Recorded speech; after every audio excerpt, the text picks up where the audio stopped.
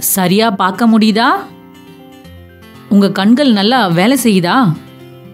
இல்ல உங்க கண்களை பரிசோதனை செய்ய மருத்துவரை பார்க்கணுமா? இதை தெரிஞ்சுக்கிறதுக்கு நீங்களே ஒருத்தருக்கு ஒருத்தர் கண்களை சோதிச்சு பார்க்கலாம். வாங்க எப்படின்னு பார்க்கலாம். இதுக்கு ஒரு சாட் தேவை. இந்த சாட்டை ஸ்னெலன்ற விஞ்ஞானி தயார் செஞ்சாரு. இதனால இது ஸ்னெலன் சாட்டுன்னு சொல்லப்படுது. இந்த சார்ட்டில் எழுத்துக்கள் அடையாளங்கள் இல்லைன்னா ஆங்கில எழுத்து ஈ இருக்கும். படிக்க தெரியாதவங்களுக்கு ஈ சார்ட் பயன்படுது. நீங்கள் செய்ய வேண்டியதெல்லாம் ஈ எழுத்தோட திசையை குறிப்பிடுறது தான் இப்போது சார்ட்டை எங்கே வைக்கிறது? எப்படி வைக்கிறதுன்னு பார்க்கலாம். கம்மியான ஒலி இருக்கிற அறையில் சார்ட்டை வைக்கக்கூடாது.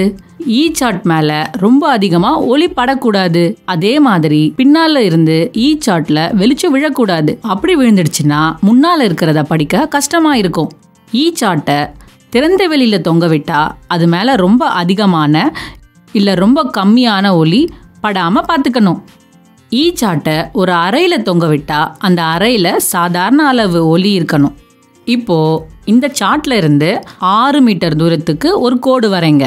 அதாவது ஈ சாட்டுக்கும் அதை பார்க்குறவங்களுக்கும் நடுவில் ஆறு மீட்டர் தூரம் இருக்கணும்.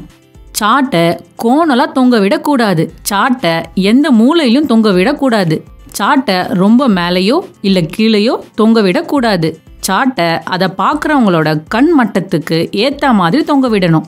நீங்க பரிசோதனை செய்யற நபர் ஏற்கனவே கண்ணாடி போட்டிருக்கிறவரா இருந்தா அவரை கண்ணாடி போட்டபடியே பரிசோதனை செய்யணும். சோதனை செய்யும் போது உங்க ஒரு கைய கிண்ண மாதிரி மடக்கி முதல்ல இடது கண்ணை மூடுங்க. கண்ணை மூடுறதுக்கு நோட் புக் இல்லைன்னா புக்கை பயன்படுத்தலாம். நீங்க வேற ஒருத்தர் கண்களை சோதிச்சிங்கன்னா ஈ எந்த திசையில இருக்குன்னு அவங்க கிட்ட கேளுங்க.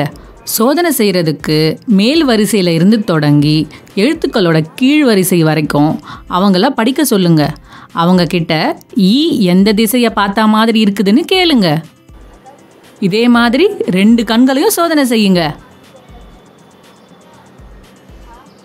ஆறு மீட்டர் தூரத்துல இருந்து முதல் ஆறு இல்லைனா ஒன்பது வரிகளை தெளிவாக படிக்கக்கூடியவங்களோட பார்வை பொதுவாக இயல்பாக இருக்குது இல்லைனா பார்வை நல்லா இருக்குன்னு கருதப்படுது.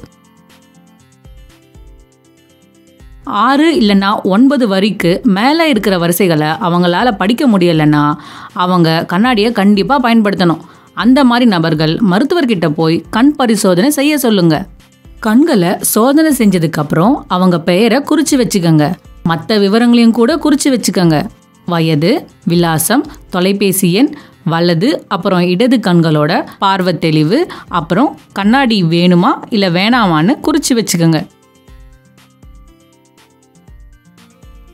இது ஈஸியாக இருக்குல்ல? வாங்க உங்கள் குடும்பத்தில் இருக்கிறவங்க அக்கம் பக்கத்தில் இருக்கிறவங்க அப்புறம் உங்கள் நண்பர்கள் இவங்க கண்களை சோதனை செஞ்சு அவங்க கண் பார்வை சரியா இருக்கான்னு பார்ப்போம்